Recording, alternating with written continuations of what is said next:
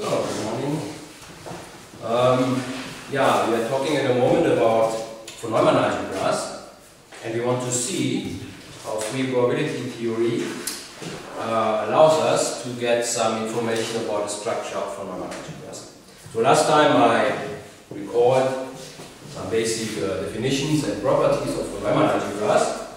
Uh, so the main point is, I mean, von Neumann algebras are uh, yeah, subalgebras of bounded operators of the Hilbert space which are closed in some topology. And this is a quite big topology. So this means I mean von Neumann algebras are usually very big things. Uh, they contain a lot of operators and we have a lot of possibilities for doing operations uh, which stay within the von Neumann algebra. So this means it's, it's hard to, uh, yeah, to classify von Neumann algebras because they are so big things that we can deform them and we might still have the same object uh, isomorphic von Neumann algebra, and so we want to uh, yeah, control this somehow. And one of the main uh, constructions for von Neumann algebras is a group von Neumann algebra. So we are starting from a group, then we are representing this group uh, by left multiplication on itself, and so we get, so, so we take the Hilbert space given by the group, and then uh, uh, represent the group by multiplication of itself by bounded operators, and then you take the closure in the corresponding topology, and then you get a Neumann algebra. But the question is, what is this Neumann algebra? A priori, it might be of H, but it turned out, and it's not everything, usually we get interesting von Neumann algebras, and in particular, uh, if our group has this uh, ICC property, uh, then uh, we get factors. Factor is a algebra with a trivial center, so those are the building blocks of general Neumann algebras. And if we take as a group as infinity, then we get the famous hyperfinite factor, which is quite well understood. Uh, but then we go somehow to another extreme, a very non-commutative group, maybe the most non-commutative group, not namely the, free group. And again, we get a factor, they are called free group factors, uh, but we don't know really much about at least up to the point when Voiculescu uh, started free probability to uh, understand the structure of those, not much was known. Uh, the main thing was they are not isomorphic to the hyperfinite factor. They are really different uh, from Neumann algebras, but even uh, whether there's only one or more uh, free group factors is not clear, because we have L of fn for each n, and they might be the same or they might not be the same. That's one of the big questions uh, the free group, that is the free group factor isomorphism problem, which is still. Oh, okay, but we know we know more we know more about the free group factors, and I want to give you some idea how free probability uh, can help with this. Um, okay, so when we looked, so so the, the free group factors uh, are generated by the group elements, which are unitary operators in this representation, uh, and in this representation, they are Haar unitaries with respect to the canonical underlying state, and they are also free. That's not very surprising because the definition of freeness was made according to this. Oh, good. Okay, so what we have is that the free group factors are generated, so let's say L of fn,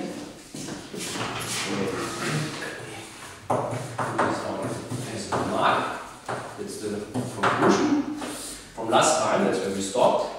So L of fn, that's the free group factor, which is generated. So fn is the is the is the free group of n generators. So this guy is as a von Neumann algebra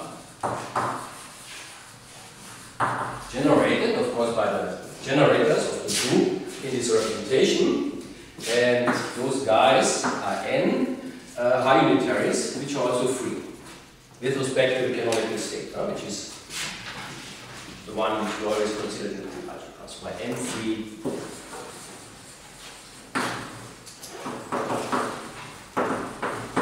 Haar unitaries. Well, this is a Haar unitary just means that if I take powers of my group elements, they are never the, the neutral element, which is of course clear because it is uh, a free.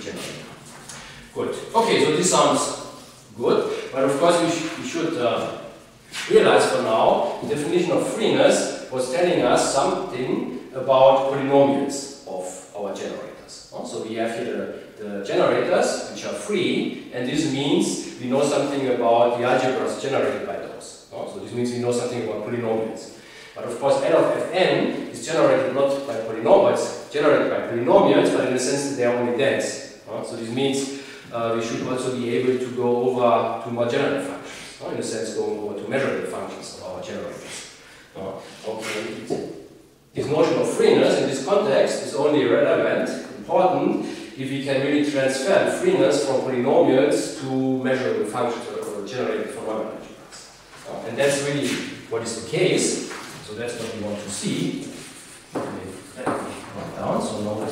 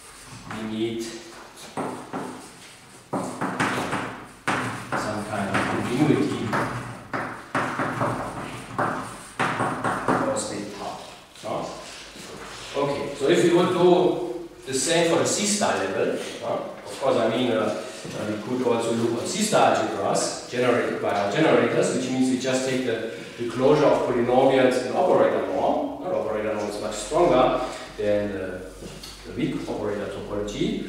Uh, so C-star algebras are smaller things. Uh, then you also need a continuity of tau, but this is already there if you are in a star probability space. Right? Because positivity of linear function in the C-star context uh, means that this guy is continuous in the norm topology. Okay. Um, but this positivity is not enough to ensure that we have the continuity which goes with the von Neumann algebra set. Okay, so what is the relevant notion there? That's the notion of normality. So what we want is a normal state.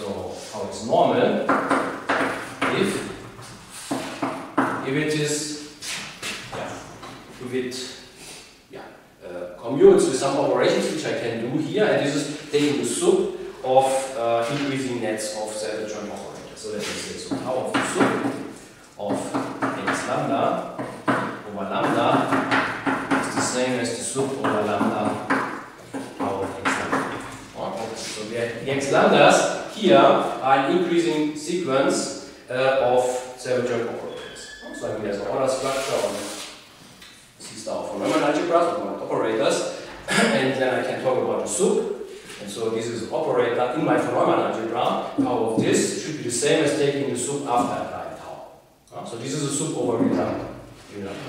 And in general, I mean, uh, one has to go over nets for this such a setting, not uh, over uh, just over sequences, but is just a technique. So okay, so for any increasing net lambda of self-adjoint operators x lambda n. Okay, this is an abstract definition, but of course, luckily enough, it's, it's equivalent uh, to what, what we would think it should be, namely if M is realized as a subset of on B of H, and on Of H we have this uh, weak operator topology, then it is continuous with respect to this at least if we're restricted uh, one subsets. And I mean, that, that's the crucial thing, which is important for us, uh, because you usually work there. Okay, so, definition of internal, which only uses internal structure of Neumann algebra, uh, is equivalent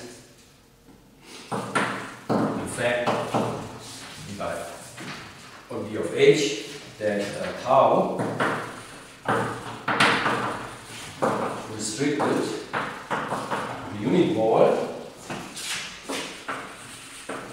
m, so means operators whose norm is less than 1. Of course, by scaling I cannot restrict it to any bounded uh, set. Uh, there it is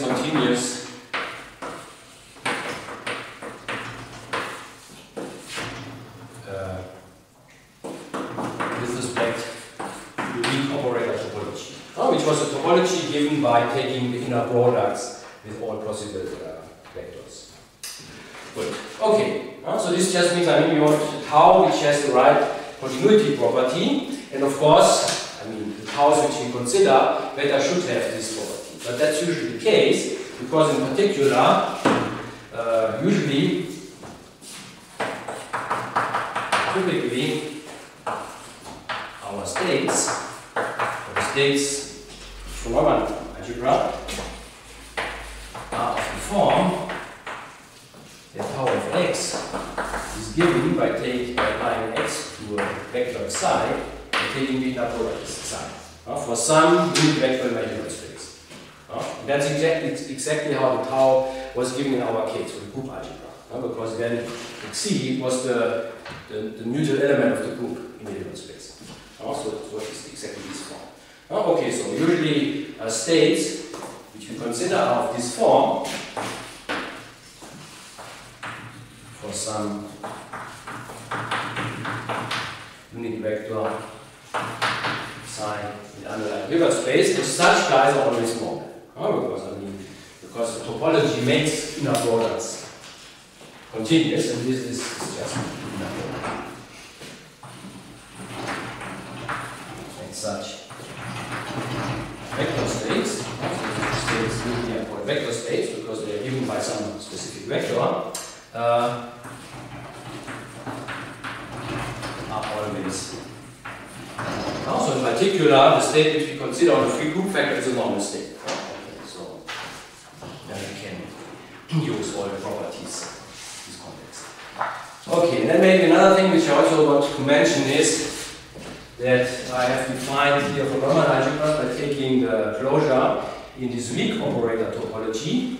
But in this context, there are a couple of other topologies around which more or less are restricted at least to some subset all equivalent. Uh, and another prominent one is the strong operator topology. Uh, and for, for, for many arguments in this context, I mean, sometimes it's better to use that your algebra is close in the weak operator topology, sometimes it's, it's better to use that it is, is in the strong one, and you're, you're going from one to the other. Uh, because, I mean, they have not all the same properties. Oh, okay. And so maybe I just want to mention this. Uh, there is also a strong operator topology, which, also, which is also a topology given by semi-norms, but instead of taking inner products, I take just a norm of vectors attached to the state. Also strong operator topology. Uh, so this is the convex, locally convex topology. So this means it's generated by uh, semi-norms. Uh, semi-norms, but not the ones which we used for the, the weak operator topology, but now we take the semi-norms, which are indexed by a vector, and then we just take the norm of x applied this vector. Uh, in weak operator topology, we took the inner of x applied to vector, uh, the inner is another vector. Okay, and one point is, I mean, if I restrict those topologies to some nice subsets of B of H, they are equivalent. They are not equivalent in all of B of H, but usually on most sets I'm interested in, they are equivalent. So in particular, if I have a unitary star subalgebra, uh, and then if I take the weak operator topology closure, I get a von Neumann algebra, but this is the same as taking the strong operator topology, which, as we know, is the same as taking the bicommutant. So, uh, let's say for star subalgebra, um, A B of H, uh, which for example could be a, a star subalgebra generated by some generators.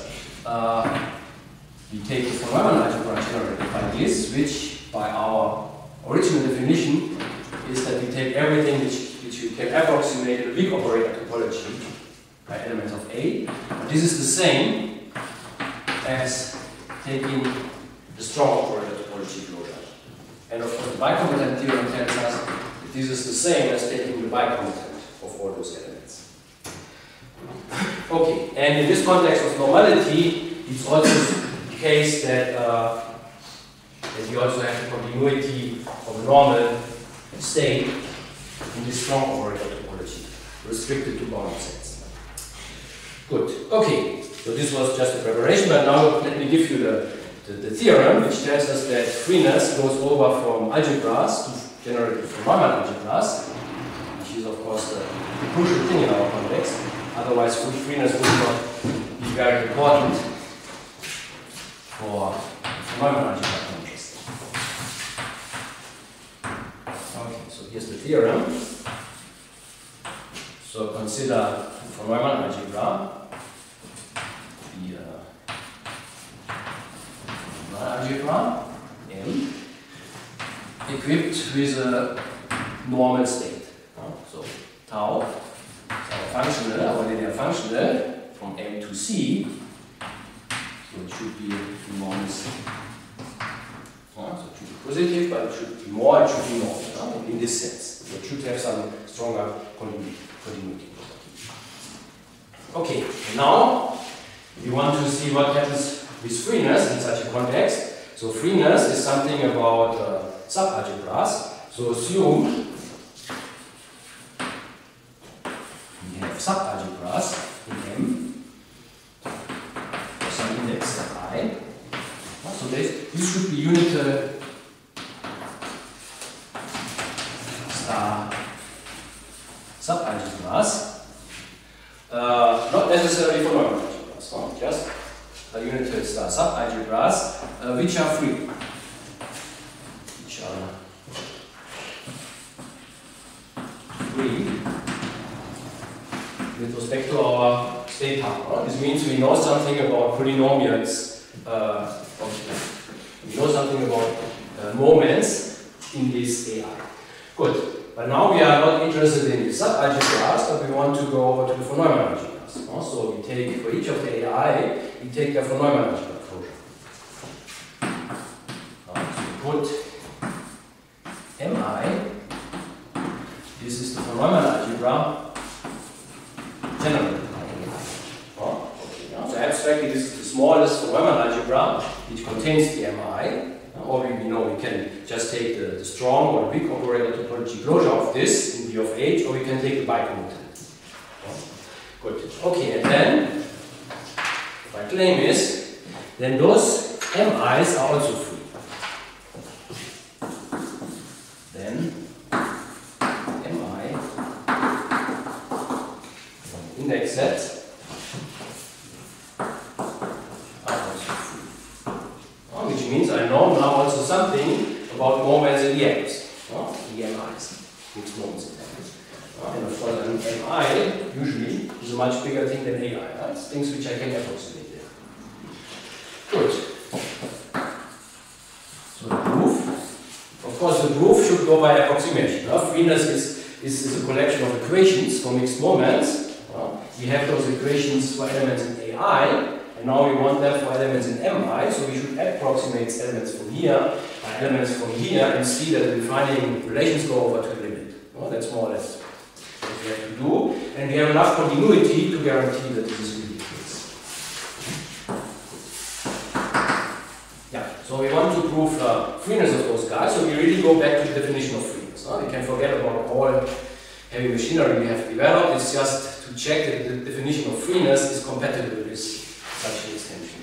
So what, what do we have to do if I want to check freeness? So I take elements from my algebras, Mi. So I take A1 up to AK. This. Yeah, so I take a a number of them. K is just a natural number. And each of them should come from one of the MIs. So the J should be an M, one of them, let's say ij. So a j should be an mj. j, of course, is one of my indices. Then each of the AI, aj's should be centered. So tau of aj should be zero for all j's which I consider here from 1 to k. And then, of course, also we need that neighboring elements are coming from different algebras. So we also want first that A1 comes from a different MI, the second one, and so on. So that's our notation, meaning that neighbors are coming from different ones. The. Okay, that, that's the requirements which we have in the definition of freeness, and if those are satisfied, then freeness means that tau of the product has to be zero. So that's what we have to check. Under these conditions, tau of the product is equal to zero.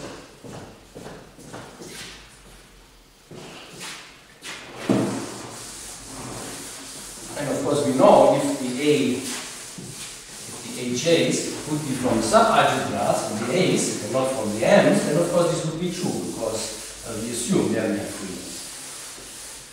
Okay, so we have uh, approximate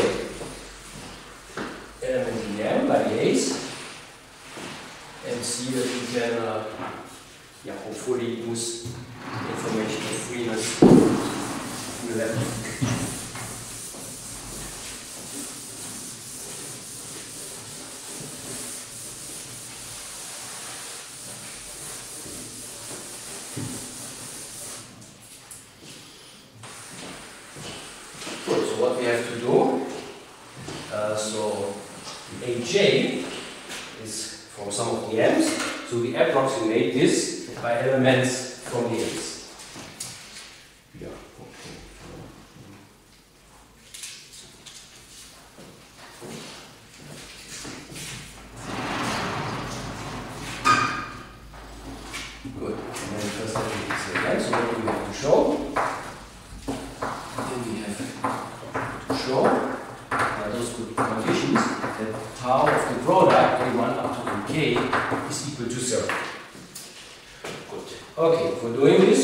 approximated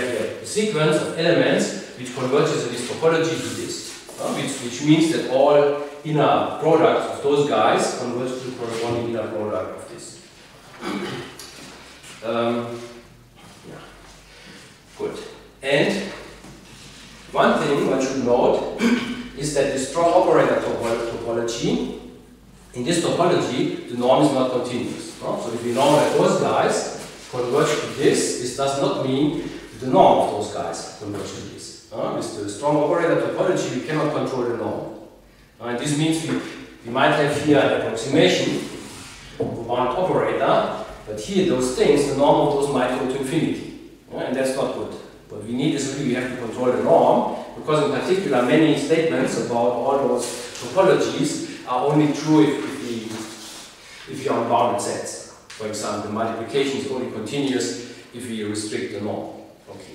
And that's uh, why we use the strong operator topology, because there we have a very important theorem, Kaplansky's density theorem, which tells us that even though this norm of this does not converge to the norm of this, we are able to choose this sequence in such a form that we control the norm.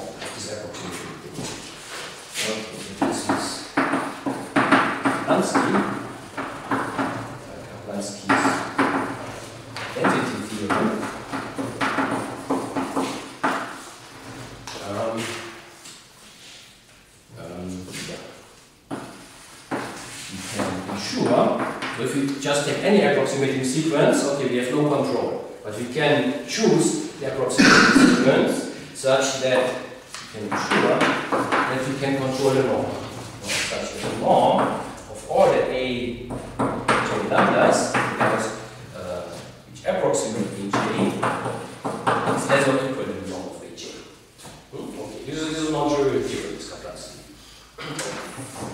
uh, it's true and very uh, helpful.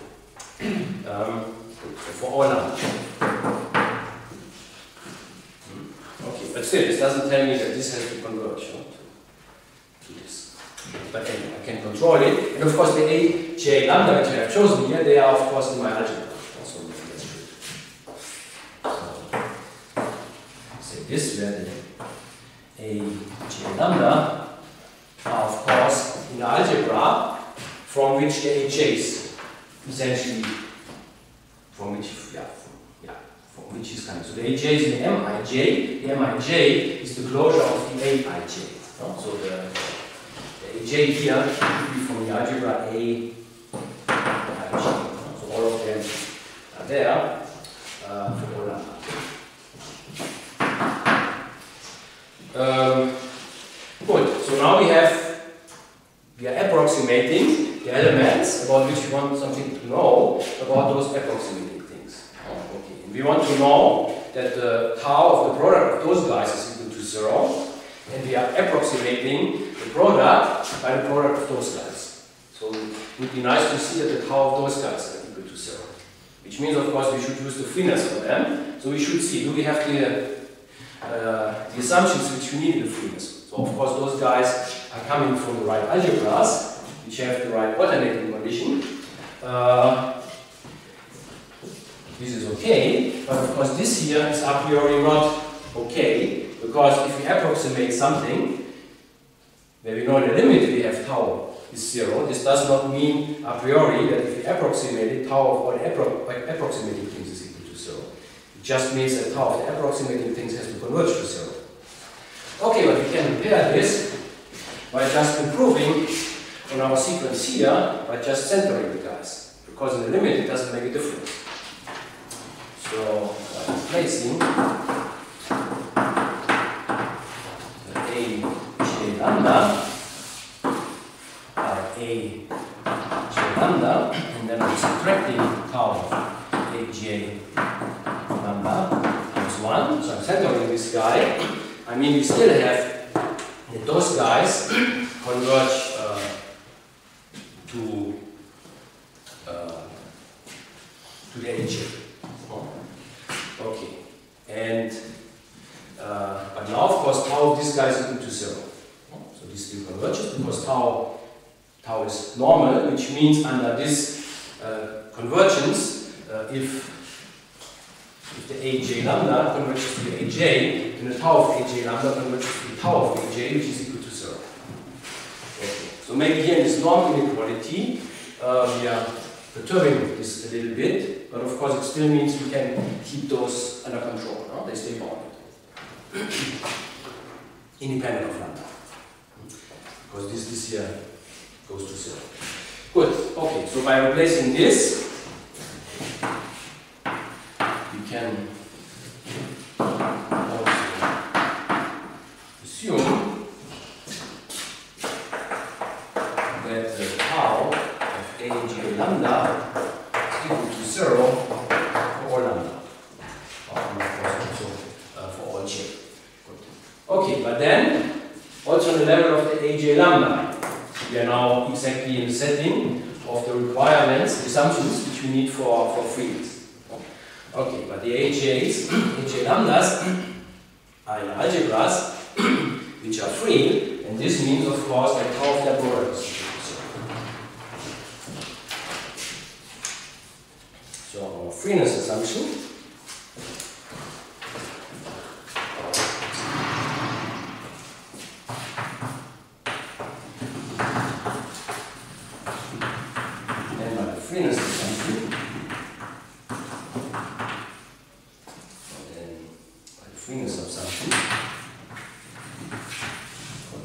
lambda, or maybe this again.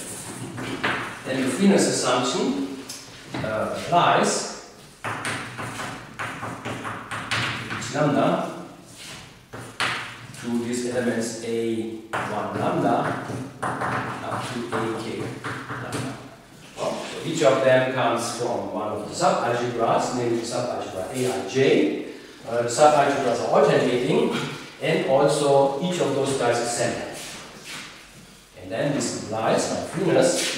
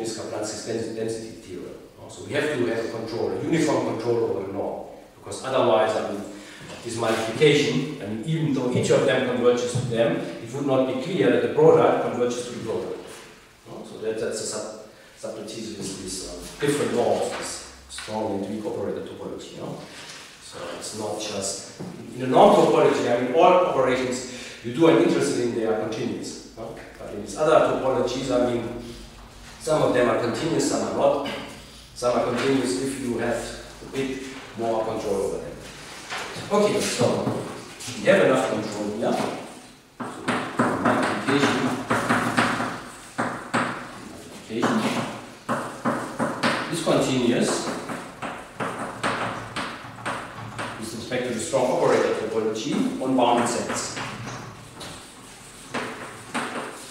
Non-bounded sets, and that's what we have. By the virtue of Kaplansky's. Okay, but now we are not in a nice situation because for each lambda, as we just saw, this tau is equal to zero.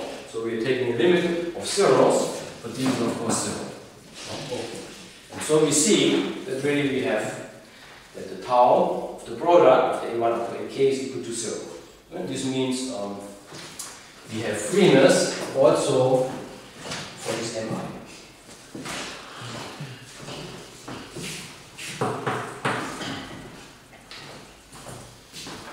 Yeah, so this means, I mean,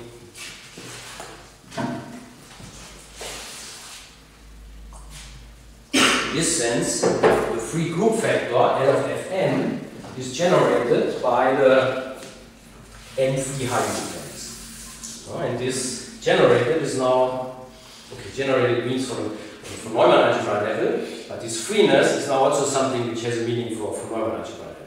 Oh, So this tells us that at least we have maybe some more understanding of. Of course, we still have to see what we can do with this.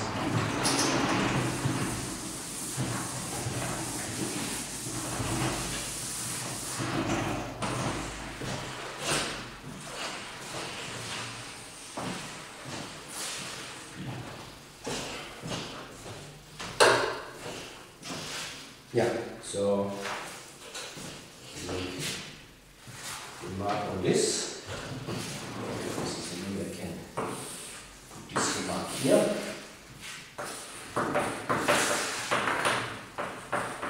Also this remark will of course lead us to a theorem, which I want to put there.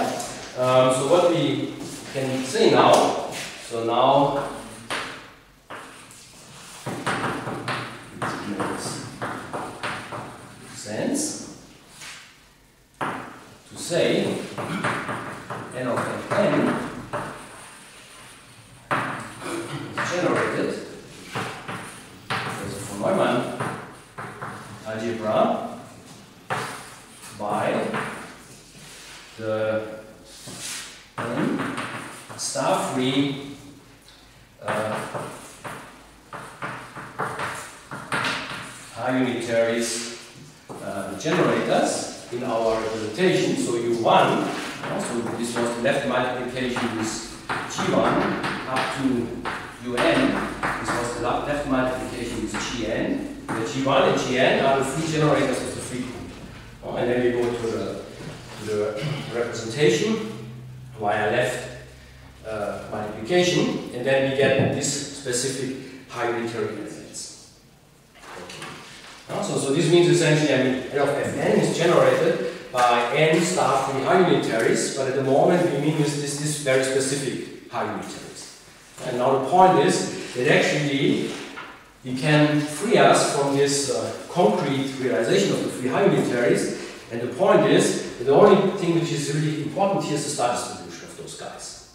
It's the point that we have n star free Haar unitaries, not how we have realized them. That's what we usually do in free probability theory. We don't care how our operators are concretely, concretely realized somewhere, we only care about uh, their star distribution.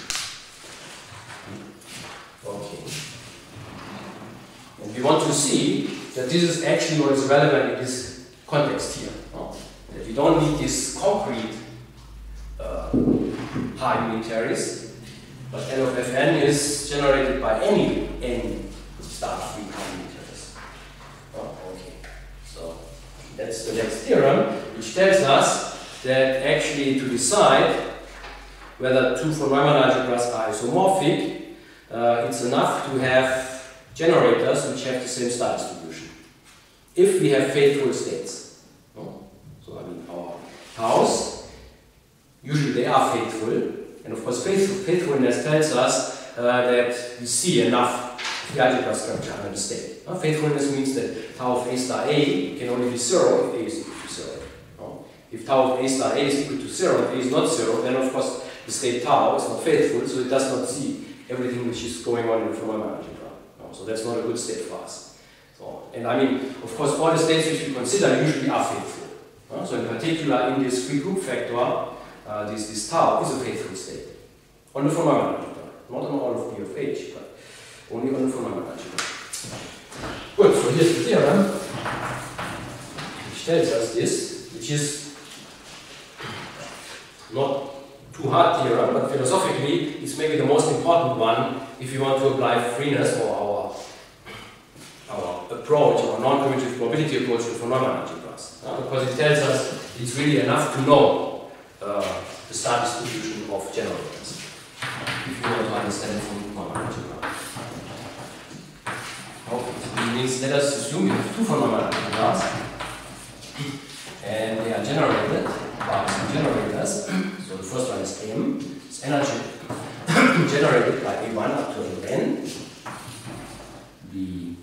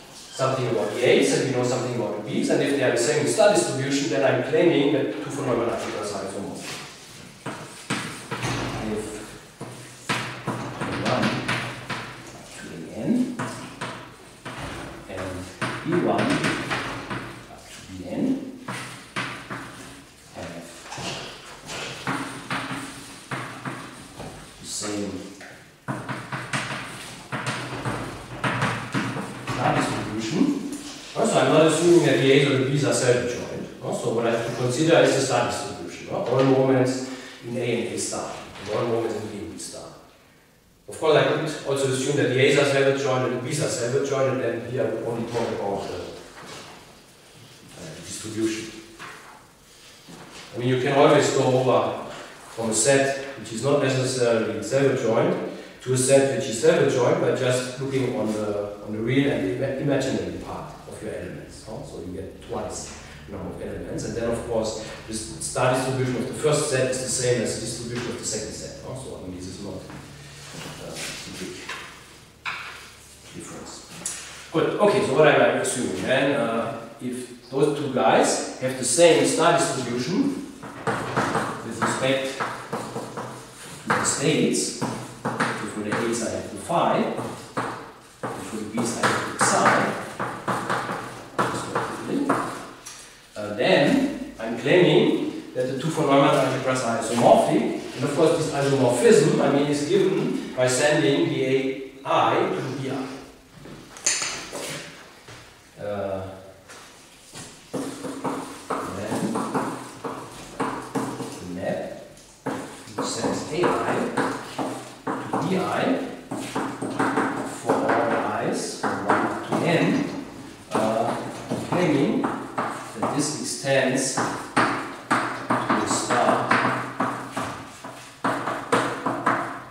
isomorphism. Of n. And n. I'm sending this to this, then I'm taking polynomials of those guys, I'm sending this to the corresponding polynomial in this guy, and then a general element here, I'm approximating by polynomials, uh, and then this goes over to what the polynomials here approximate. Well, and the point here is this all makes sense, there are no contradictions. It's not that I, I have a polynomial here, which is zero here, not zero on this side, things like this. Um, okay. So in particular, we have the Neumann algebras are isomorphic. And that's what you usually want to know about Neumann algebras. Also, it could be that I have here Neumann, algebra on one Hilbert space and Neumann algebra on a different Hilbert space, where which are defined in quite different ways. uh, but still, if the star distributions are the same of some generators, then they are isomorphic. Good. The proof of this, okay, I'm cheating a little bit because I'm essentially saying this follows from the GNS construction. No? So, I mean, if you know the GNS construction, then hopefully you are able uh, to do this for yourself. And otherwise, I mean, I don't want to talk about the GNS construction now. I just uh, uh, want to make one remark. So, so the GNS construction is, I mean, how, how do you represent Neumann algebra on a Hilbert space if you have a, a normal state? And this is the general there's a general construction, which is called GNS, according to Gelfand, Naimark, and Segal. Uh, you usually do at the level of C-star algebras, but you can also do it at the level of Neumann algebras for normal states. Uh, and essentially the input which you need in this construction are exactly the star distribution. Uh, because you have to know uh, what happens if you act with those guys on vectors. And I mean vectors are also given by, by your uh, element from algebra. Good. Okay, but so I mean, let me assume that one of you know the GNS construction. If not, just believe me that this is okay. So, I just want to say that this follows In fact, the GNS construction.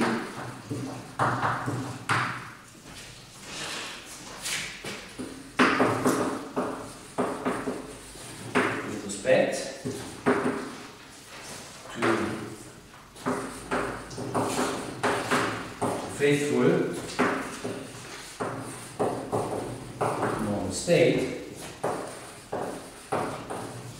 Gives a faithful representation. So this means gives this isomorphic uh, picture, gives a faithful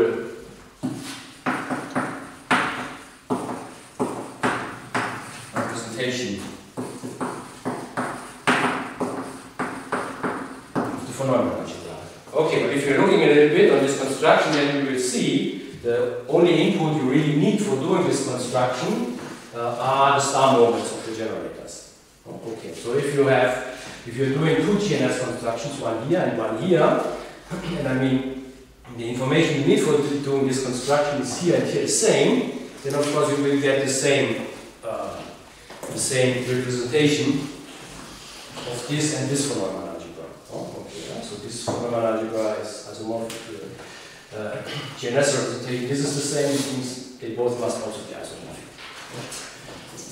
Okay, and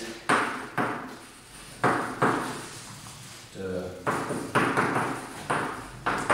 star moments of the generators contain all information which is needed for this construction.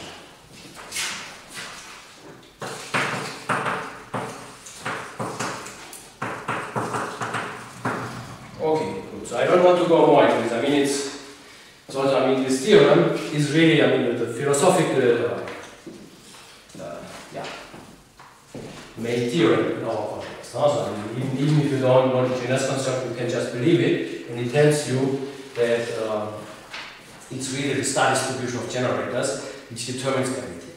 Um, but maybe I want to give you some maybe just some of the facets here on, on an algebra level, which shows you, for example, what in principle, I mean, yeah, how, how moments tell you something about the questions which you have if you want to extend this isomorphism. Right? So namely, on the star algebra level, the main point, of course, is, I mean, of course, so I know I know AI goes to BI, so if I take a polynomial here in AIs, I have to send this to the same polynomial in BIs. And the problem is this could be that I have a relation here which I don't have here. So it could be that the polynomial here in AIs is zero, which is not zero here. And so maybe we should see that our assumption that the star distributions are the same excludes this uh, situation. Okay, so uh, let's see uh, the following. So assume I now have a polynomial, a polynomial in n non-commuting variables. If I apply this polynomial to the a's, I get zero. So this means I have a polynomial relation between the a's.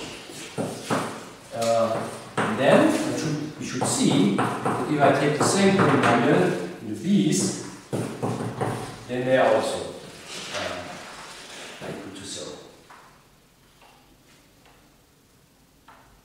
Yeah, because if this is not the case, I would map zero to something which is not zero, and of course this is a contradiction.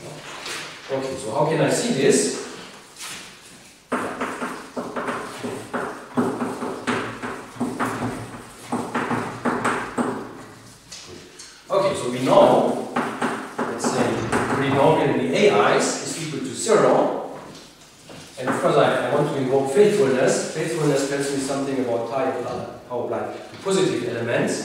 Should go over to a positive element. I mean, this is not necessarily positive, but if this is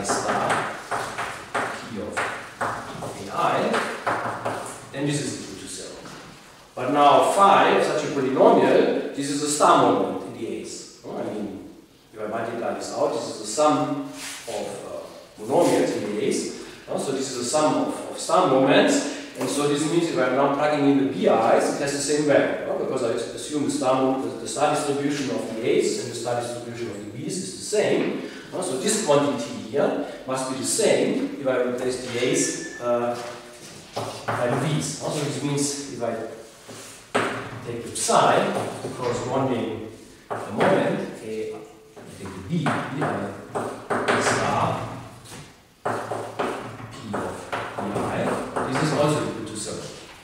Good, but now I can apply the faithfulness of psi. Now you see, I, mean, I need faithfulness because the moments have to tell me enough about algebraic properties. Also, if I apply psi to a positive element, this is a positive element, and this is equal to 0, then the element itself must be equal to 0. So this means, uh, yeah, P is equal to 0. And this is equal to 0, which is the same as just saying this is equal to 0. And so you see, uh, assuming a polynomial the is equal to 0, we get that the polynomial in the b's is also equal to 0. So that, that's the, the main, yeah, main idea why the moments, with respect to faithful state, contain enough information to deal with all algebraic uh, questions in the Neumann algebra. And even questions which are in the, in the Neumann algebra closure. If we have normal, normality. Of course, with GNS construction, we need normality so that such things also go over Good. Okay, so maybe a few more remarks. I mean, this philosophy now allows us to, instead of saying L of Fn is generated by those very concrete uh, u1 up to un, which are given by the left multiplications the generators, by those very concrete n star-free unitaries. This tells us that whenever, in any context, we find uh, n, n free n star-free unitaries, then they generate L of Fn.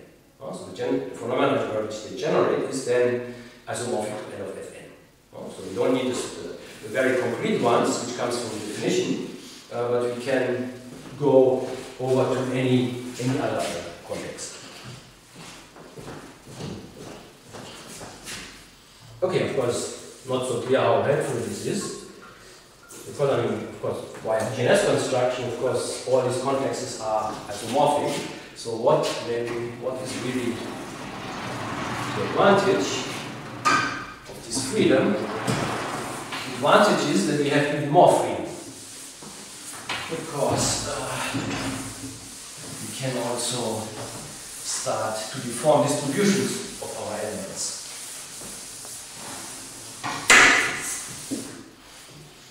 having n free Haar unitaries, uh, that we have Haar unitaries actually is not so important, the freeness, that's, that's the bullshit thing. We can form the Haar unitaries to something else. Particularly because uh, we have measurable functional changes at our disposal.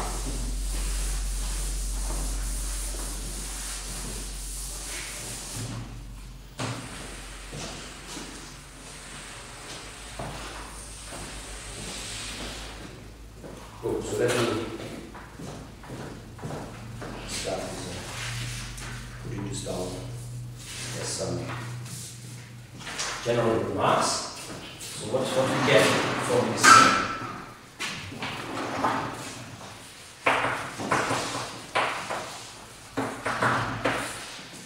Good.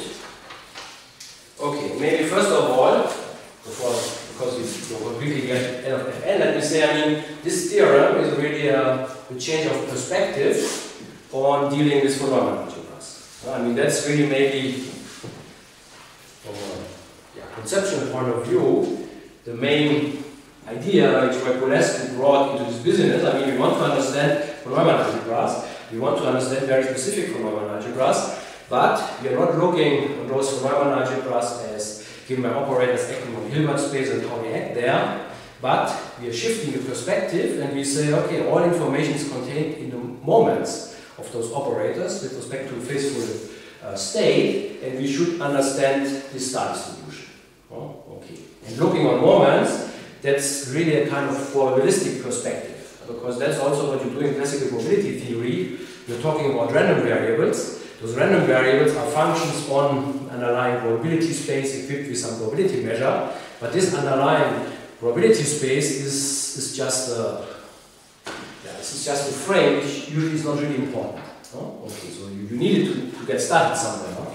So, but, but you don't really use it very often. The only thing which you usually use in classical probability theory is the distribution of your random variables. And this also allows you to, to make changes for things. And this is a very similar things here, thing here.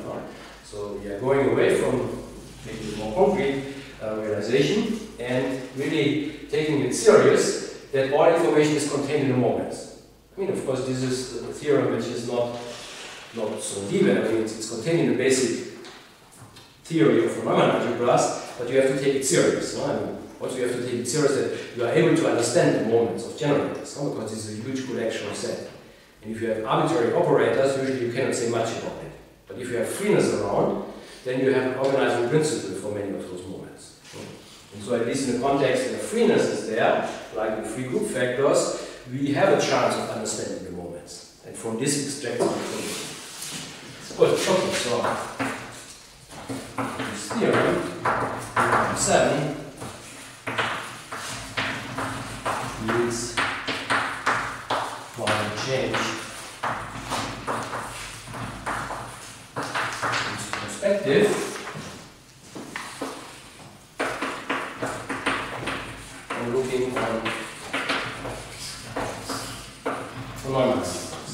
Oh, okay. So it tells us, so we can understand uh,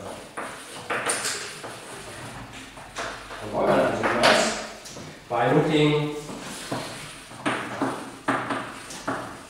on the star distribution of generators with respect to a faithful uh, state and not on a concrete action on Hilbert space.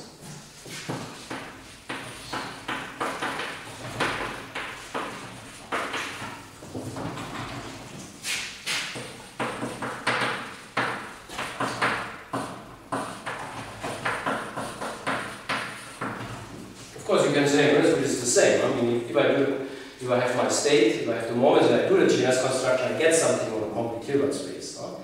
But um, still, it's, it's, it's shifting the emphasis on what you consider as the important thing. no? And maybe in this context, it might be important to remember, I mean, one of the assignments, we saw that we have a very nice realization of the semicircle distribution as the real part of the one-sided shift. no? So we have the one-sided shift, and if you take the, this and plus it's adjoint, it's actually the real part of it, then it has a semicircular distribution. And the one-sided shift is, on the or is one of the most important operators in operator theory, uh, but I mean, nobody looked on its distribution. no? So I mean, this, uh, I mean, this one-sided shift is around for a very long time. There are many investigations about it, uh, but uh, that it has, with respect to this very canonical state, this very canonical and nice semicircular distribution. I mean, this uh, this only started with Voiculescu when he at those questions. So before, nobody was interested in this. It's not it's not that it's hard to calculate it.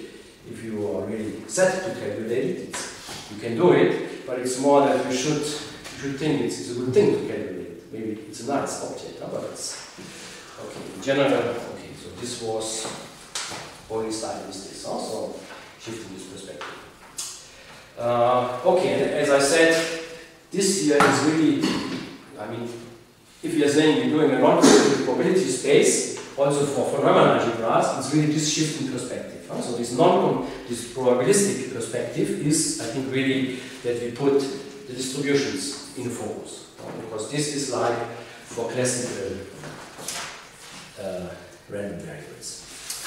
Good, then maybe now back to our L of n. So we want to understand this. I mean, we have now shifted to perspective. We say you can understand L of Fn if you understand its star distribution. Uh, but this, does this really yield some uh, interesting results? And we have to do something more.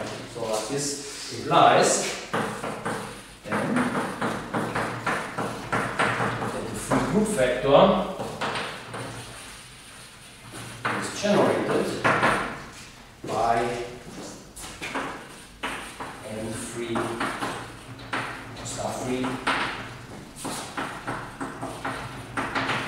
eigenvectors 1 up to n uh, where now we do not care anymore when just use how they completely look like. Well, they don't have to be coming from our left regular uh, representation of the group.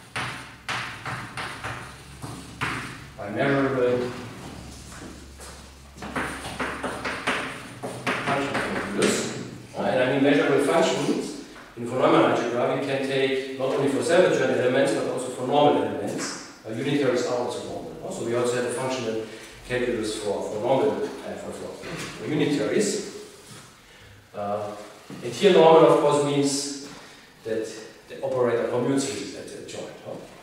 So it's not a normal, normal state, normal operator.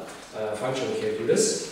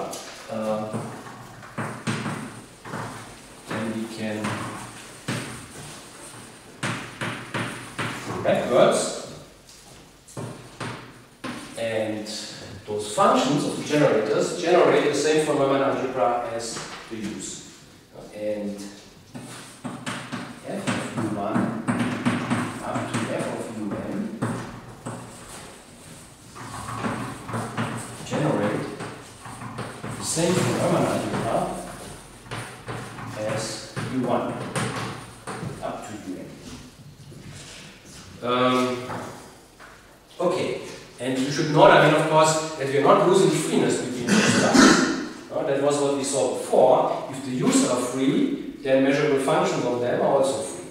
So this means we can replace uh, free unitaries by free whatever we can get by changing the distribution of the u's by this function. And we have quite a freedom of changing. Uh, because uh, with measurable functional calculus, you can change any distribution which has no atoms, like the u's, into any other distribution which has no atoms. Oh, okay. So if, I mean, I can of course take here functions uh, which give me atoms. I mean, I could collapse, I mean, I mean u's have the uniform distribution on the, on the circle. A u is a unitary element, so its spectrum is the circle, and having the Haar distribution on the circle means I have a uniform distribution on the circle. So the kind of Lebesgue measure on the circle. Okay, and of course I could take a function which collapses this, let's say just to the point 0 and 1. But then of course I cannot go backwards. I mean from atoms I cannot go backwards. But, but I can change in a measurable way this uniform distribution to any other distribution which has no atoms. So this means we have here a bit of freedom of changing this to any distribution which we want it has no atoms. Um,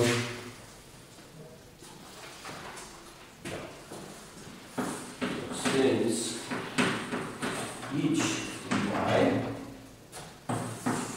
has atoms, uh, we can change this via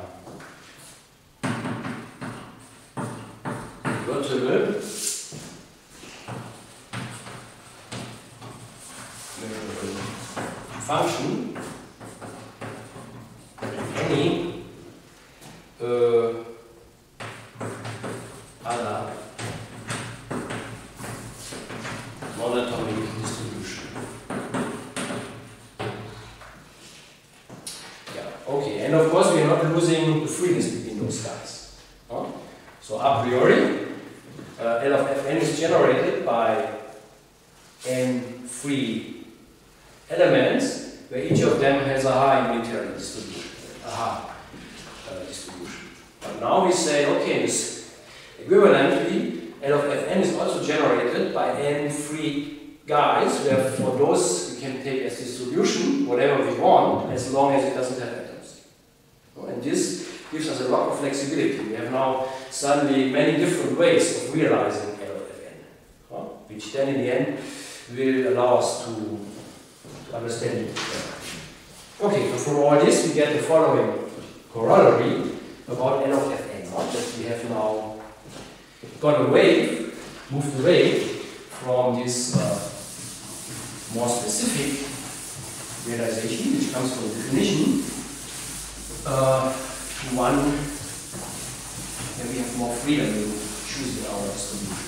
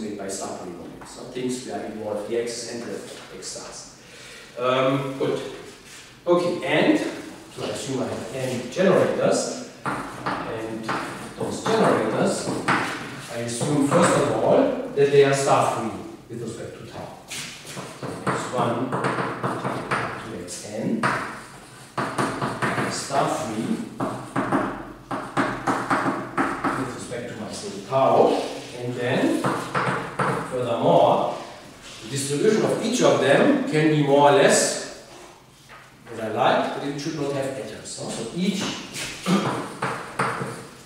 and of course, I mean each of them should be normal.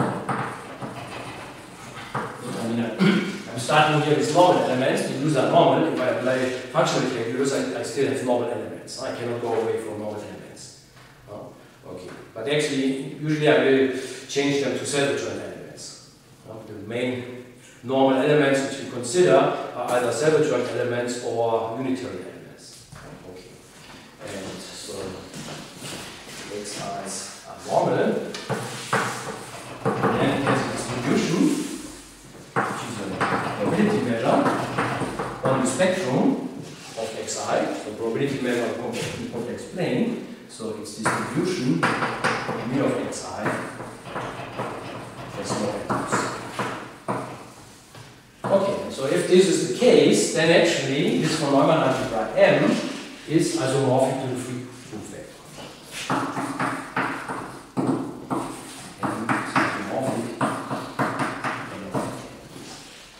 Okay, now this allows us to realize L of Fn in quite different ways. We have here freedom. Of course, I mean we, we, we should we are not changing the freeness between our generators, huh? but but the distribution of each generator, generator we can change. But, the freeness, we are changing the generators, the, the behavior between the generators is not changed. Freeness is, a, is an abstract concept which is uh, stable, robust against uh, changing, uh, taking functions of the generators. Huh? That, that's the, the main point of, of freeness. Huh? That we have an abstract concept which tells us how is the relation between the generators even if I'm taking functions of my generators. The re relation between them is still the same. Still, there, still free. Okay, so maybe one example, or maybe also one word to the maybe uh, the distribution. I think up to now we essentially talked about distributions as probability measures of operators for self-adjoint uh, uh, operators. But of course we also have this for normal operators. So maybe just point this out. What this means.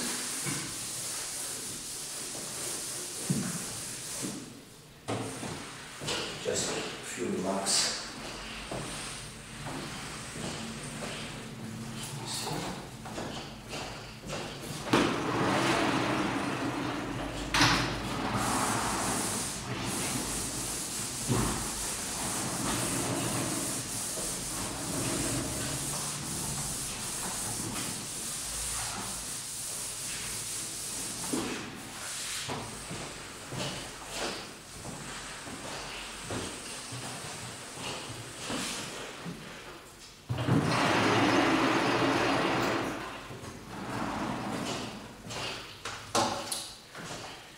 Okay, so just a remark on,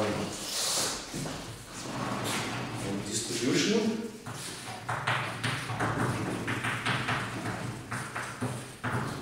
Oh, There's an example made, but first remark.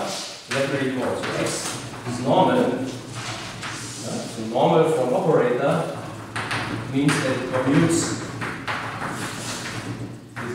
joint, uh, which means in particular also that the von Neumann algebra generated just by this x is a commutative von Neumann algebra. Uh, and this means that we Uh, okay, so if this is normal, then uh, x has a distribution. Uh, I mean, this distribution in general just means a collection of all star moments. But if it is normal, the star moments can be identified with a probability measure. And in this generality, it's a probability measure in complex plane, or more precisely on the spectrum uh, of x. So then x is the probability measure on the spectrum of x, which is uniquely determined by. I mean, so now we consider this when we talk about the free convolution. We, we did this for self-adjoint operators, which are of course normal, but I mean, normal is a bigger class. Uh, so they are determined that by the fact, of course, that the, the moments, the star moments of x, I mean, they are of this form. In general, star moment, of course, I multiply x and x stars, but if my operator is normal, I can commute x and x stars, so I can bring all x's at the beginning and then I have all the x stars. Huh? So I mean, all the star moments of this form, and they are the same as the corresponding uh, moment of the measure in the complex plane. So z to the to the l, uh, mu x. So z is my integration variable. I'm integrating over the spectrum, which is a compact subset of the complex plane. Oh, and I mean, Stone-Weierstrass tells me that those guys are dense in a continuous functional plane. So this means this, the knowledge of those guys really determines this as a probability measure. Okay, mean, that's what we use essentially for, uh, for self-joint uh, operators, and of course this is also true for normal ones. Oh, and the measurable functional calculus for bounded operators in the Hilbert space extends to the normal case. Um, good. And of course, a, a Haar unitary, maybe just what I said before, has a very nice uh, distribution. So for Haar unitary U, one course, the spectrum of U is the unit, unit circle of complex numbers, x equal to 1. Uh, and the measure is just a uniform distribution on this. No? Because I mean, you can check if you, if you integrate, if you have a unitary here, I mean, then of course those guys, you just have to integrate u, u to the k and u to the minus k. And if you integrate this with respect to the uniform measure on the circle, you get always zero, unless the power is zero, which is exactly what the moments of the Haar unitary. So this means for Haar unitary is mu is a uniform distribution distribution. Okay, now we can change this, this distribution essentially. What we are saying here, we, we can change this to any distribution we like, uh, and uh, so in particular, for one has this. And so we can map, for example, we can map the circle to the real line. No? I mean, we can identify the circle with the inter interval from 0 to 2 pi, by just going over to the polar coordinates. So we can go from S1 by mapping G, interval 0 to 2 pi, Oh, essentially, in this direction, map t to the, it.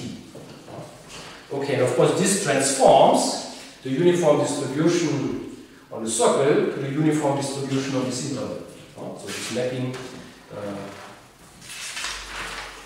for, for Haar unitary via this.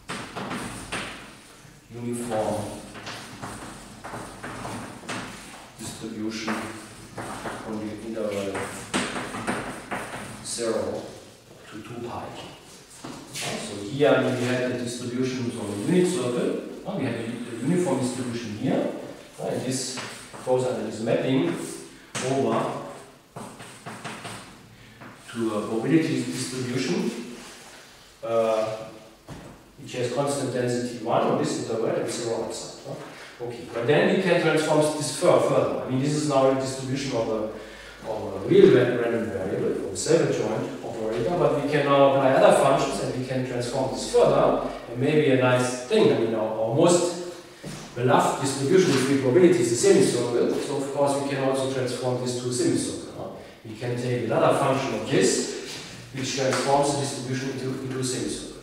I mean, we can transform it to any thing which has no atoms, but of course we, we want nice things, and the nicest thing is a. So we can take another function.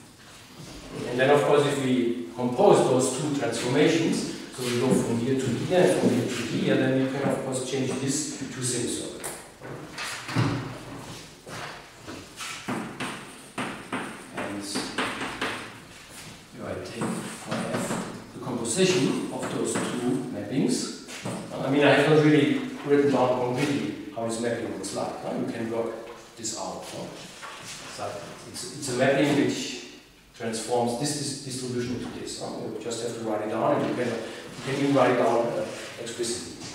But it's not. Okay, it's not so nice that I want to do it. Okay, but in any case, there are things like this. Uh, and so I composed those two things. Then I take an f of u. Uh, u was my Haar unitary. Then f of u is a semicircular variable.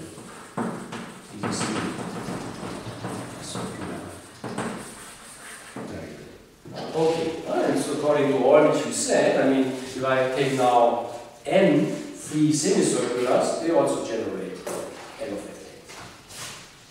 So, instead of 1 up to n, n star free Haar unitaries,